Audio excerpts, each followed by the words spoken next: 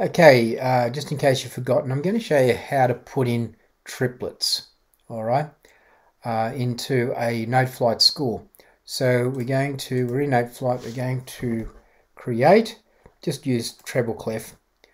And first of all, how to create triplets. Okay, now we don't ever, we're in 4-4 time, we don't um, ever just do triplets. Let's just, just make up a little tune here. Okay, now say we want to make these crotchet triplets. Okay, what you need to do is, now this sounds a bit odd, but you need to, while that's selected, make it into a minim. And then over here, press the triplet button. I've got the rhythm uh, uh, selection here on my palette. If you don't have that, you go there and you tick that uh, green, uh, the uh, orange tick, and you go down there to triplet. So you can find triplets there. Whilst that's highlighted, I press triplet. Okay, move my cursor, and I think I'll put an A in there and a G in there.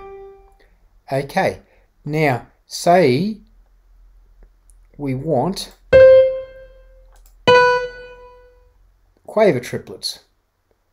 Okay, it's already a crotchet. So in other words, we go up one note value to the value of the triplets we want. So we've got crotchets there. We simply press triplets there, move our cursor.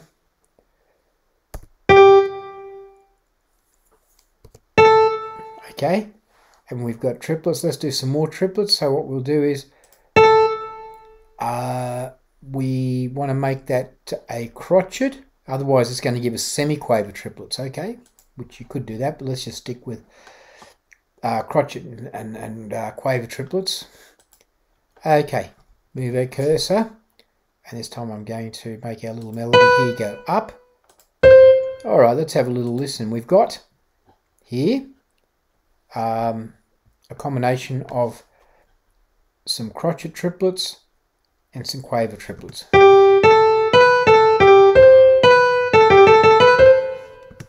Okay, so that's how we create triplets.